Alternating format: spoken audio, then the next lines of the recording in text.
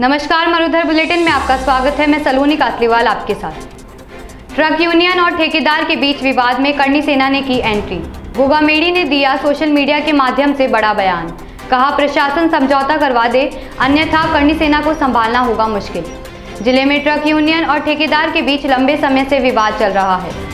सोनू गाँव के पास संचालित हो रहे Rajasthan State Mines and Mineral Limited के लाइमस्टोन की ढुलाई दरों को लेकर पिछले लंबे समय से स्थानीय ट्रक संचालकों और ठेकेदारों के बीच विवाद चल रहा है।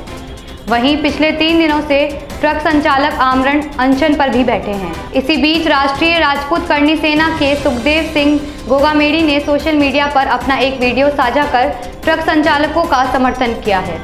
गोगा मेडी ने कहा कि ये इन गरीब ट्रक संचालकों की रोजी रोटी से जुड़ा हुआ मामला है और इसका समय रहते समाधान होना चाहिए। उन्होंने कहा कि कोई बड़ी घटना घटित हो, उससे पहले ही प्रशासन को बातचीत कर ट्रक संचालकों और ठेकेदार के बीच समझौता करवाना चाहिए। गोगा मेडी ने कहा कि ठेकेदारों की ओर से जो स्थानीय ट्रक संचालकों का हक छीन कर बाहरी ट्रकों को लगाया जा रहा है, अनुचित है।